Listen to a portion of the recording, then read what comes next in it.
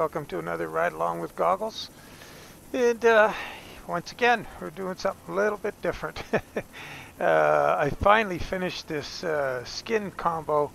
You know, the truck was difficult enough doing the stripes around the fenders and stuff and meeting them up with the body, but man, the trailer was something else. As the, uh, the little stripes, especially at the back of the trailer, um, the small stripes where they go across the back of the trailer, they look straight now, but they sure don't on the drawing. And on this side, it was really bad.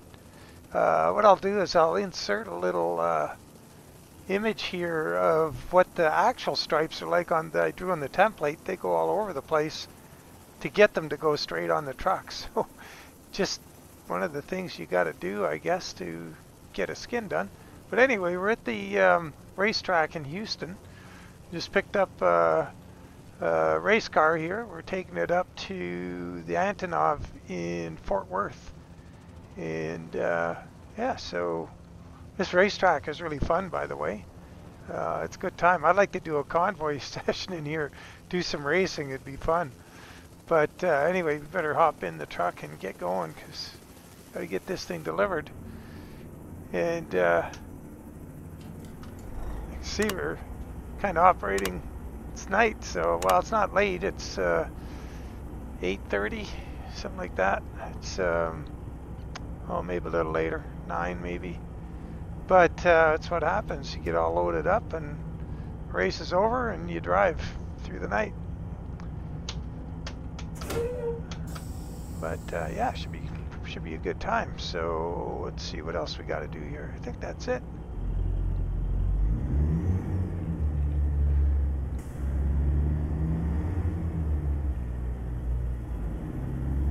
So this is all hidden roads.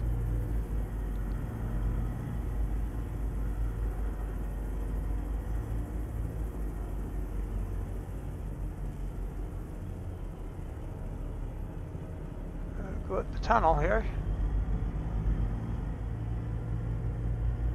I've been through the tunnel a whole bunch of times at Daytona.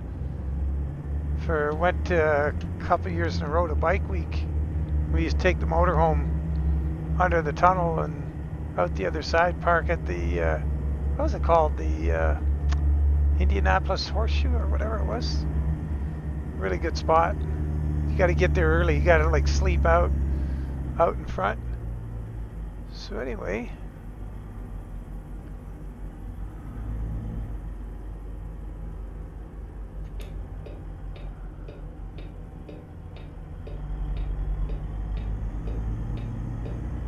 don't have very much truck volume on here. I should uh, take a minute, turn the engine volume up a bit. Just give me a sec. Oh, I hope I don't have it too loud now. Find out.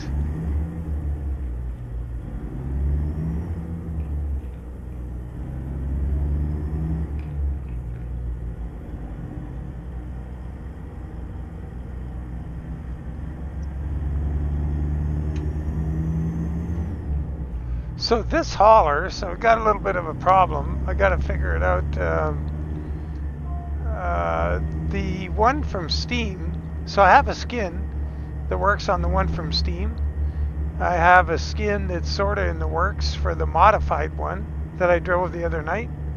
And this skin is for a version that I guess Bart's name is on as well. And I got it from Pauly, from Pauly Custom Skins. And um, so, and it's a different skin because it has a different XML, but I can use the same, you know, if I rename the DDS, I can, you know, I have both trucks in this profile, or both trailers, and the different skins, and, you know, I can drive either one. But the other one isn't getting a, uh, oh shoot, I don't have a GPS. Go straight. Okay, we have to pay attention to Lori. Darn. We're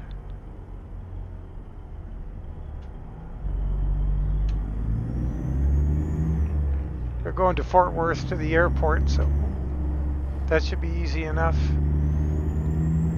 Keep left. After 50 yards, exit left ahead. Exit left ahead. Kind of want to see what this thing looks like in the. Uh, haven't driven it at night before. How's the gold look? Whoops. Pretty good.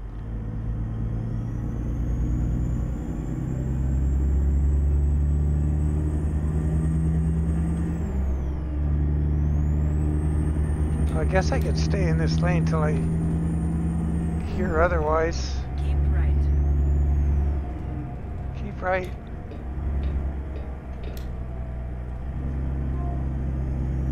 Yeah, we don't want to go to San Antonio, so this must be right.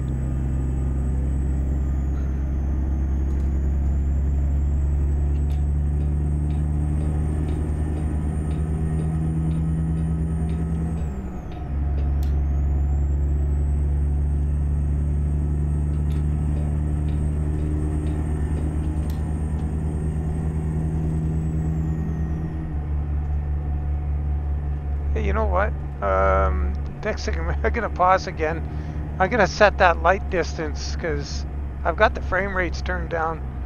One second, I gotta. Uh, shoot, we're driving. After 50 yards, exit right ahead. Okay, I'm gonna just pause right here. Right ahead. Okay, so that shouldn't affect my frame rates at all because uh, I got. Uh, so what I did is I just changed the distance that the game draws the lights at. I don't see anybody coming there. Hope not. Oh, that guy didn't see him.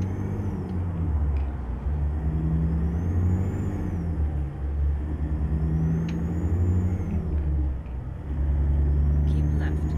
After 50 yards, turn left. Oh boy, I don't think she wants me. Doesn't want me to do a U-turn. Like this is what we want here.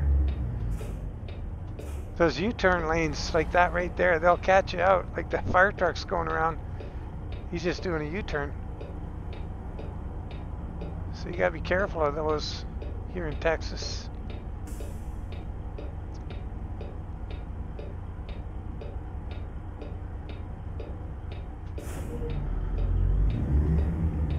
So the weight on the load isn't very much. This kind of makes more sense than that la that last load. Oh shoot! I was supposed to turn left there. What am I doing?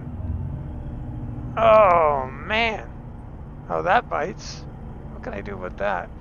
I think I'm gonna just gonna go over this nice uh, interlocking brick here.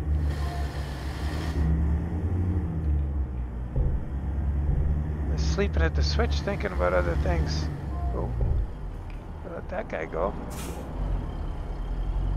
Keep right.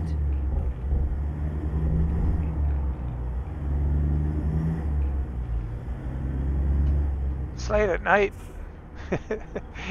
hopefully the police are all home in bed. That wasn't too brilliant. Anyway, I forgot what I was talking about. Um, oh yeah, the weight of the load. Yeah, 16,741. That sounds more like a race car and some parts than 40 some odd thousand we had the other day with the modded trailer and the hot rod. We had that 32 Ford in there. So this is a little more realistic. And we're not going to uh, Amazon with it. We're going to load it on an airplane, which is not totally unrealistic.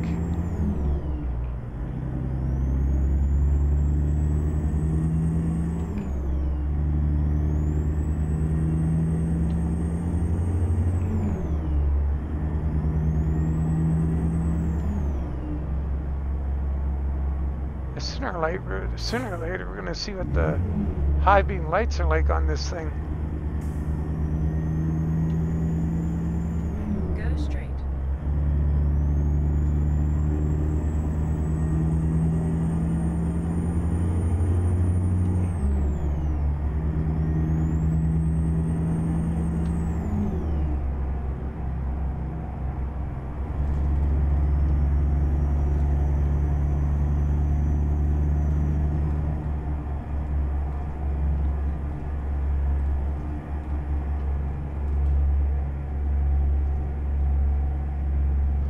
Uh, 3406 again.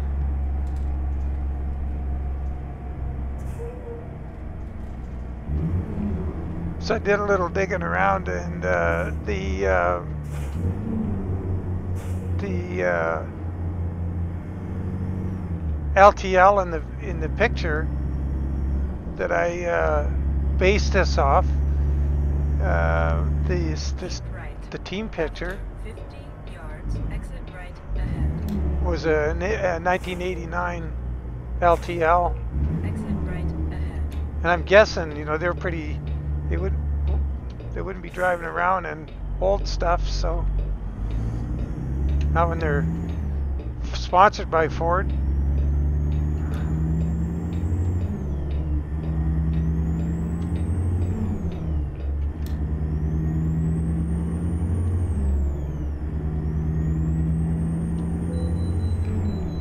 Oh crap. Keep left. Afraid we're gonna have to go right there, Lori. Oh, great headlights. You can even see a little bit on the side there. That's amazing. That's good. You're looking for headlights that do that.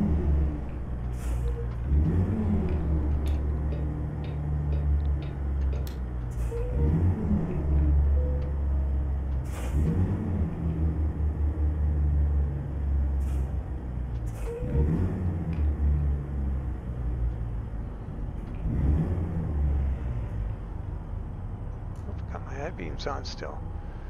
Well, let's see what we got here. 49,091 pounds. Yeah.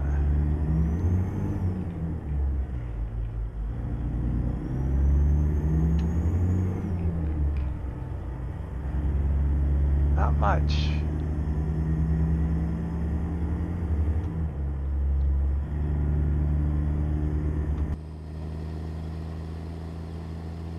Yeah, the gold looks okay in the under light. Nice thing about this trailer compared to the other one I drove in the last video, the modified trailer, is the uh, truck and trailer both have the same color gold. So you don't need to have two different batches of paint. Uh, that's a relief.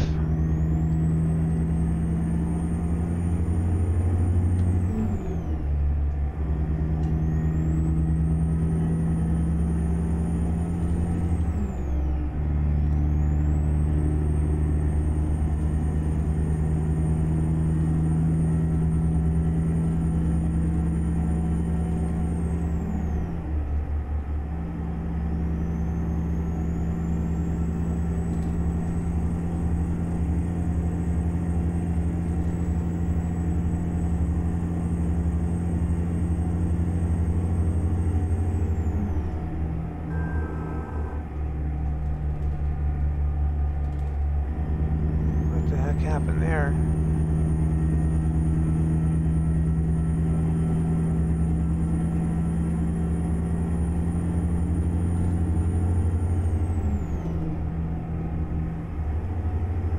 All right, we're now.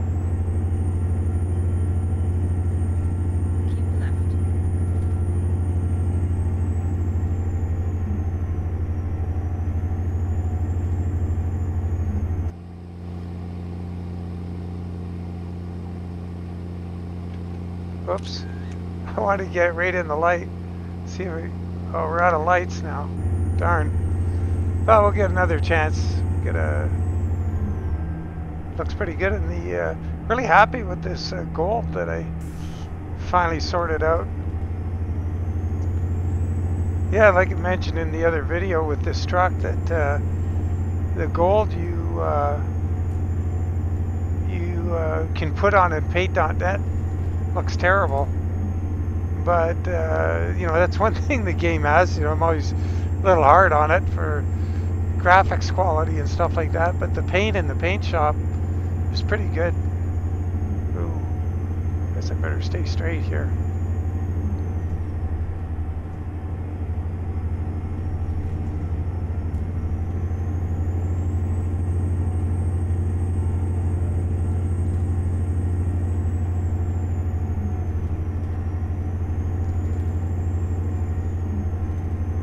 Man, I must have like uh, 336s or something in here. Doing 1550 RPM at 80. I think maybe 325s. I don't know.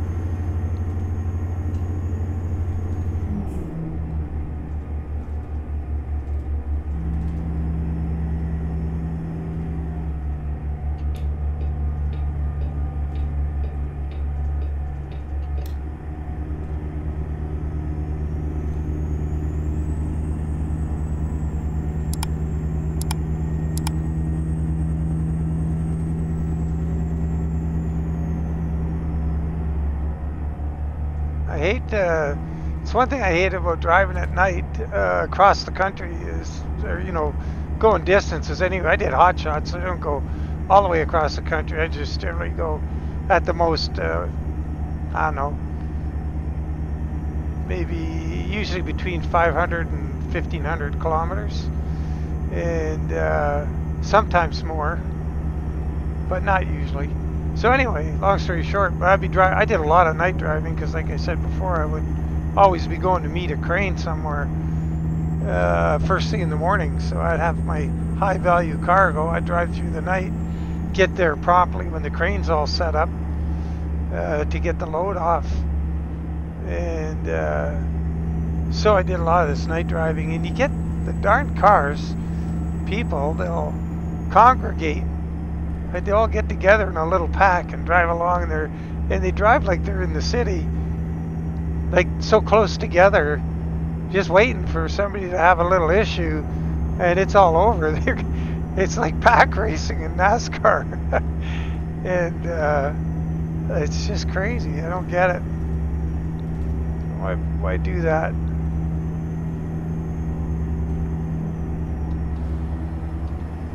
Just gotta crack that right window a little bit, get rid of that drone. So anyway, uh, and uh, I think I mentioned this episode before. I'm not sure. I wasn't driving for. Uh,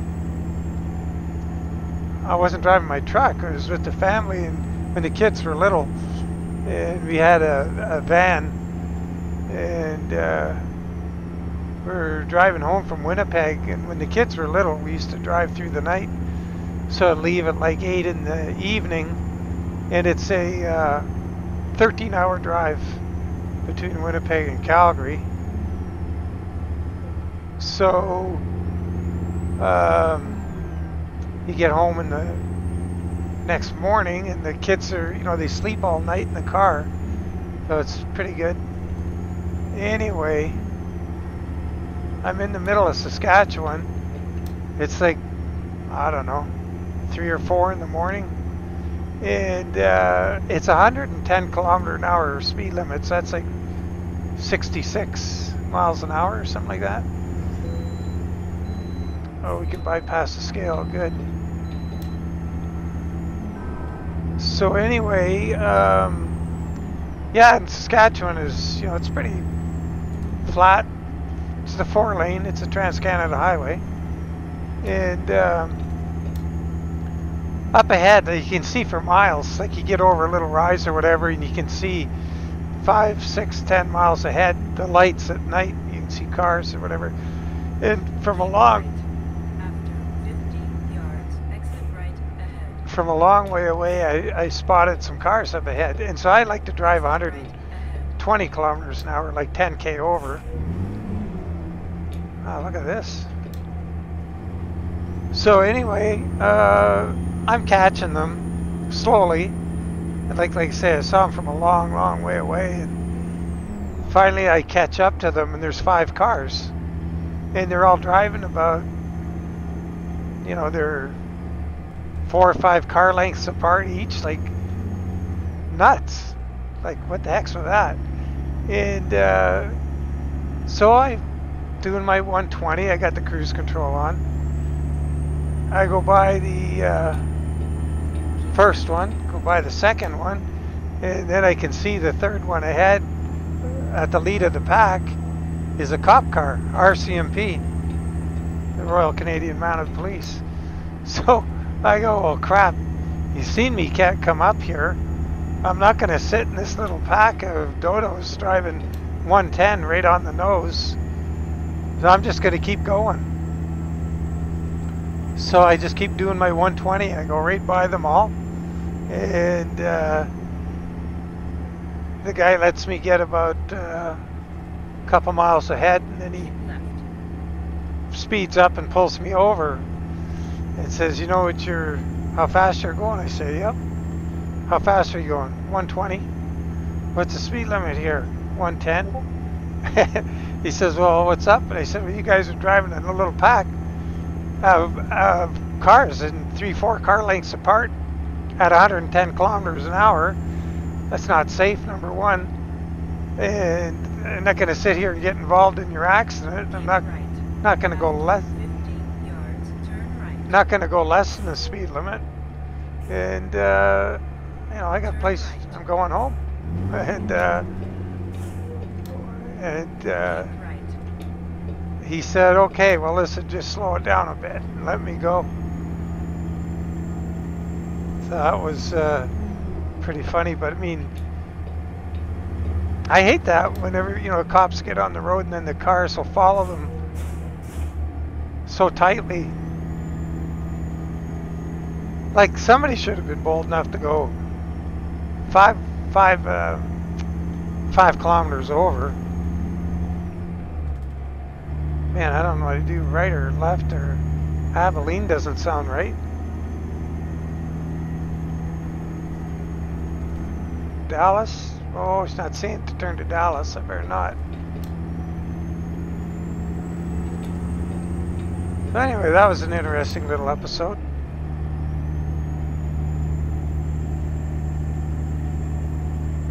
And he had the good uh, i guess his area that he was patrolling because he can cover a lot of ground.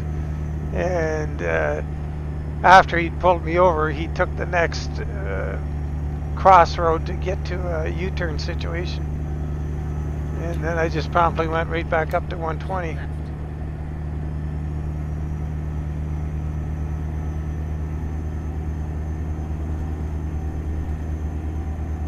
keep left okay we gotta be looking for signs for the airport now.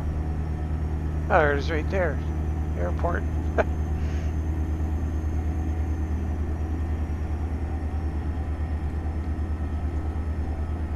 Keep right. After 50 yards, exit right ahead. Exit right ahead.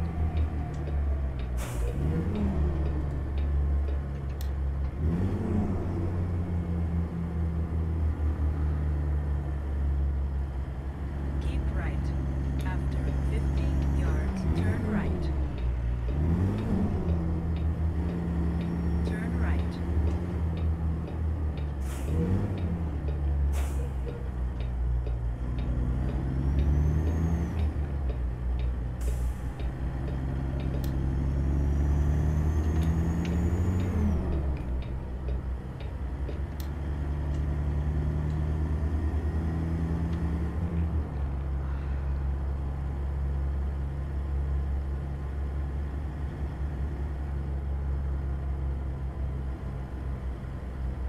If the airport's on the left there or where the heck it is straight.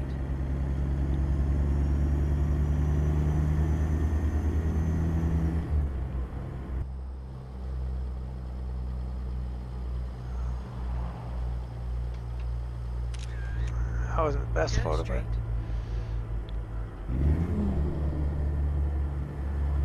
Keep right.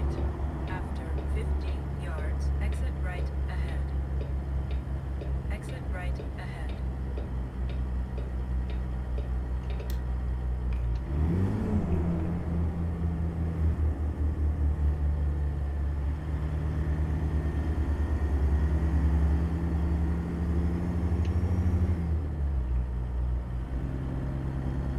I had to get a good photo of this thing in the, under the light. Get a lamppost in the way. Well, that's going to be. I guess that makes sense because they're holding the lights. Oh well. Let's see what we got to do here. Keep left. Left. After 50 yards. Turn left.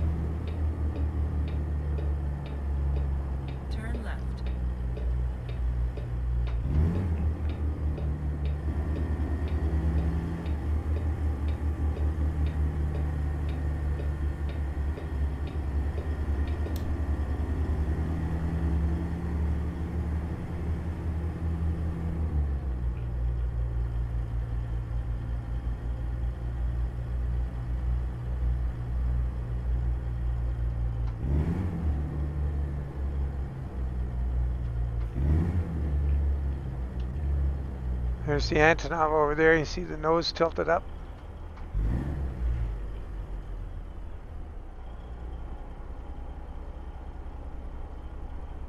Oh man, that gate's going to be too slow for us.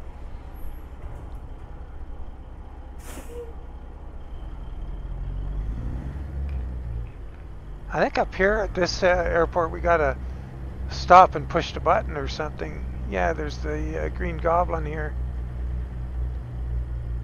Just kind of cool instead of the thing just opening automatically. Turn left. To start security check, stop and press. Okay.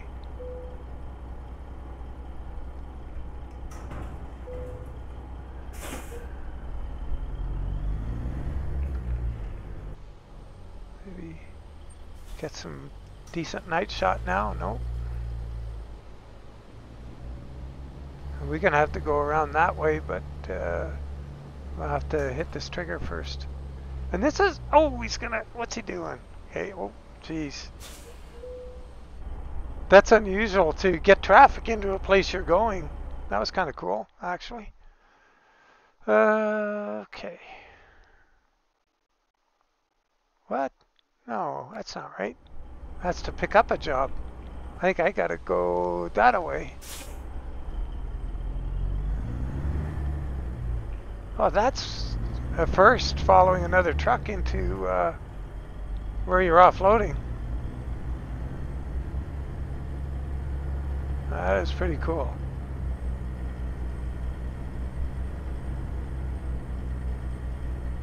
And what's he doing? He's just going to stop right there.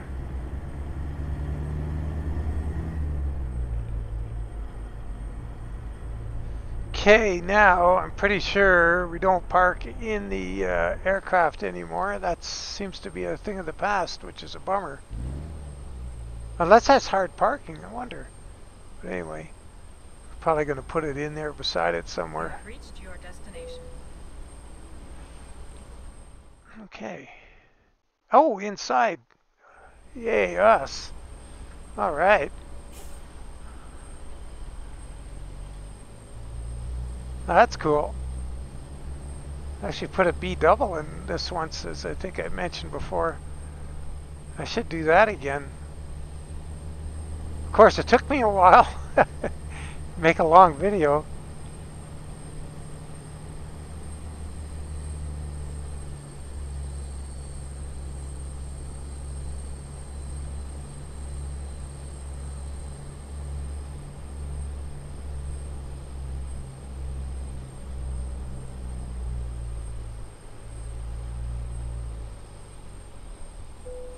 I kind of missed it by a little bit.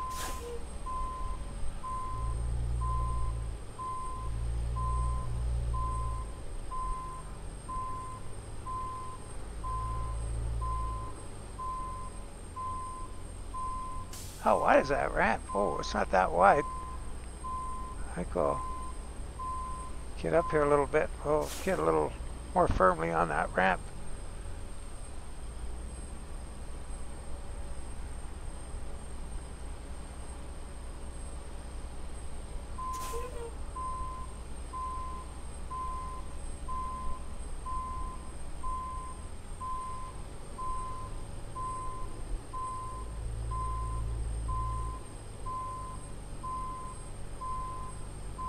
Oops.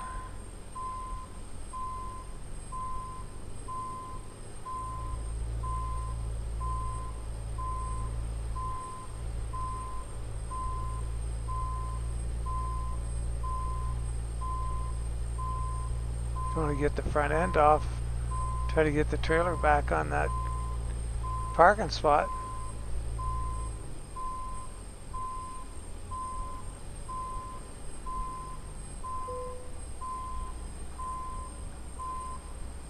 Very cool.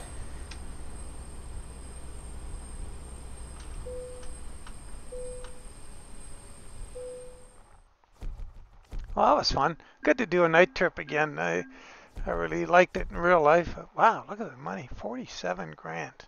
Very nice. Yeah, Ford Motor Company's, uh, well, Folgers and Ford are paying Jack Roush to pay us to do the job. Nice. Oh, man. So anyway, that's it, the LTL. So this uh, skin will be, should be out by the time you're watching the video. And I'll figure out where, um, I gotta get a hold of Pauly again and see where you can pick up the skin. Uh, I'll try and get a link to that, but for now, we'll just get the skin up on Steam. And uh, once again, it's a BPM modding uh, Ford LTL 9000 and the uh, Featherlite uh, NASCAR race car hauler. So uh, thanks for following along, guys. Hope you enjoyed it. And as always, take care. Catch you on the next one. And bye for now.